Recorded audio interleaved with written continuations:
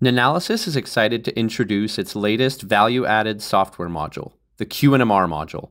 While NMR spectroscopy has long been recognized for providing extremely detailed structural information, the fact that spectra are inherently quantitative is not as frequently used.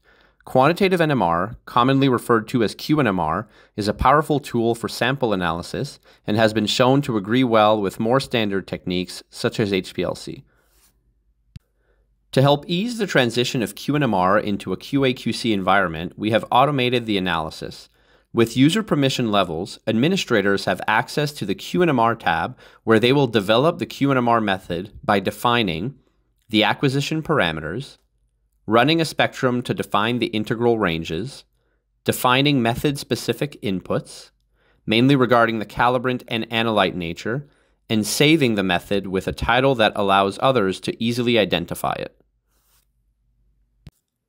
Administrators can run and edit the QNMR method, or they can make it available for technicians who can load the method and run it. To run a QNMR method, load the desired method from the experiment list.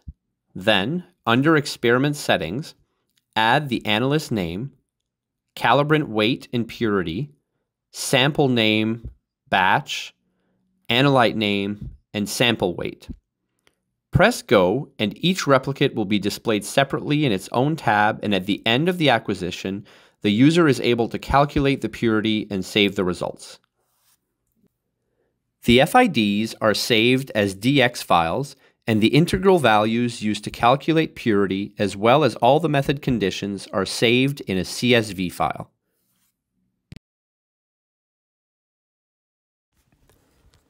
In summary, once a QNMR method is developed and saved, it can be used in routine QNMR evaluation.